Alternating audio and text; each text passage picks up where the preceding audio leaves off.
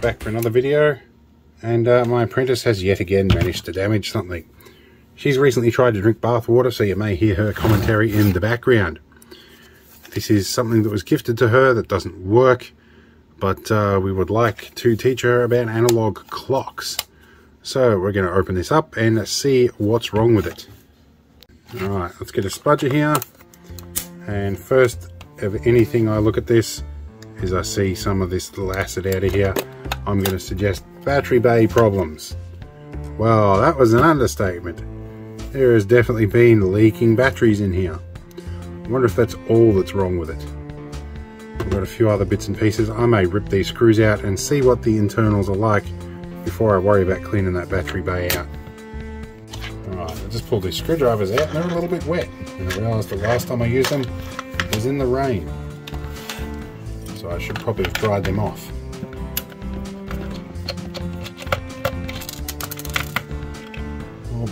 To retain the screw.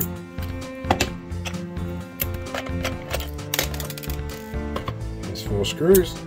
Let's see how we go with this. Okay so the back comes off fairly easily and it looks like most of the acid has been contained with the bottom half here. And it looks like this battery bay comes off pretty easily. What I might do is actually chop these wires and I will resolder them after I give this a soak in the sink and a good wash out and clean up. Right, there we go. That one is negative. What we might do is mark that. Not because I can't figure it out, but just because I'm lazy.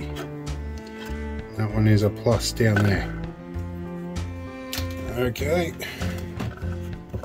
Knock these off. We'll go and soak this. Alright, so while that soaks in vinegar, we're going to give it 5 volts.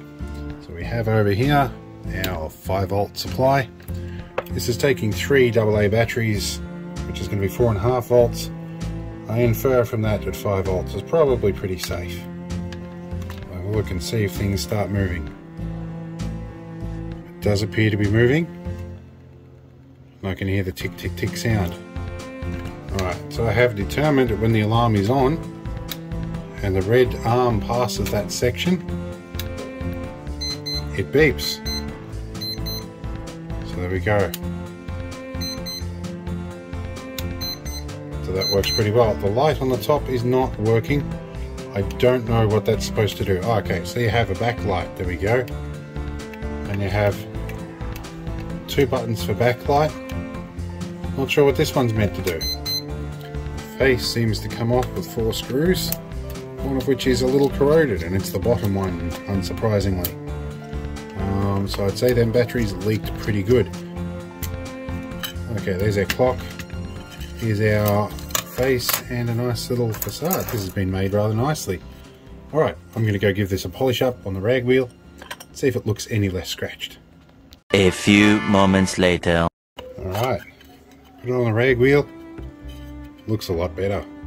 I didn't want to go too hard with the polish, so there are some scratches in there, but it certainly makes it a lot easier to look at.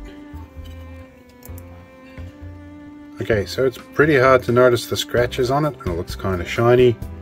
The backlight, uh, again, doesn't reveal them, and uh, that looks pretty good with the overhead light off. So, looking good so far. Now I've just got to wait for the rest to soak in vinegar for a while.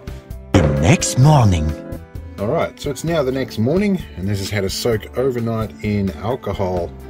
And uh, these contacts, I can actually remove them, I can slide them out. And uh, I was going to work on trying to get these springs clean, until I realised that these springs are actually just crimped in here. I can undo that crimp, pop that spring out, and I have a big box of springs that I got from a local hardware store when they were closing down. Alright, we're going to remove this uh, contact out of here. To do that, what we've done is we've folded this tab vertically and we need to get some of that solder off. So I have some solder wick. I'm first going to attach a bit of fresh solder on here and that gets a bit of flux in there. And then we're going to uh, solder wick our way out of this. Hopefully we can get this out without burning my fingers. Alright, should be enough solder off there to get the contact out. See how we go should be able to give a gentle push or wriggle. in fact grip with a pair of pliers bit of a wriggle and it should start to push down there we go and we get our spudger here we should be able to lift it the rest of the way out alright I'm going to do the contacts at one one end each uh, each way so I don't get the polarities mixed up. Now the first order of duty here is getting the old spring out. We're going to stretch them out a bit just so we can see what's going on. And uh, looks like what they've done is folded the end over and just tucked it under a little loop in here.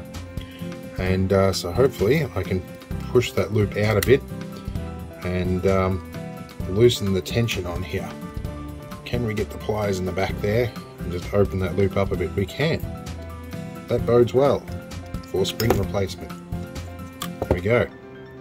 So let's get another spring and see if we can cut the size.